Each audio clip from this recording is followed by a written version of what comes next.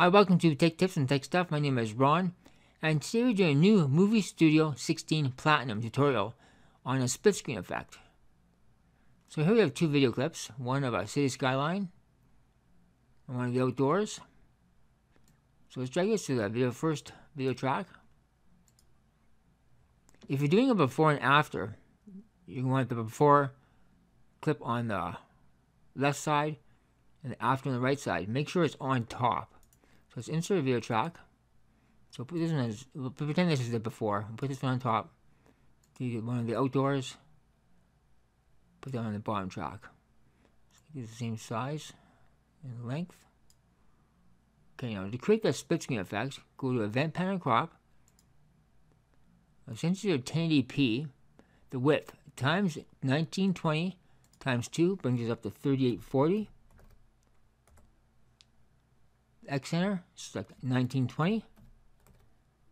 Enter. Go to the second clip, event pan/crop. 1920 times 2 is 3840. The X center is 0. So there's your split screen effect. Now if you want to add text, say you're doing it before and after.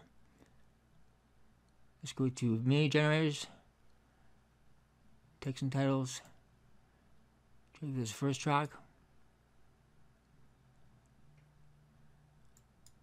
Call this before.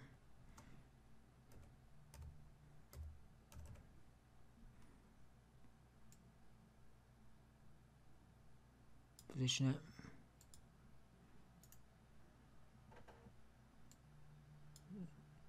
Copy this. Paste it.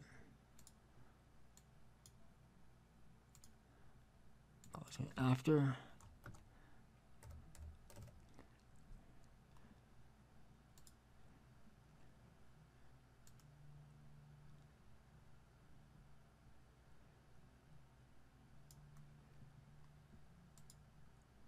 And that's all you have to do to create before and after if you want to show a video of something before and after. So it's a fairly simple tutorial. Make sure you use the same length as the video clips.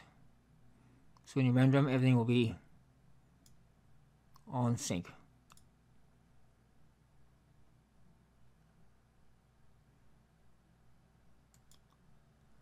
So that's all you have to do to create a split screen effect in Movie Studio. This will work in Vegas Pro as well.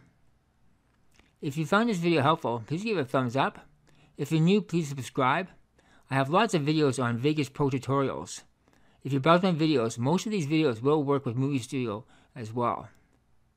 So once again, if you found this video helpful, please give it a th thumbs up, subscribe, and as always, thank you for watching.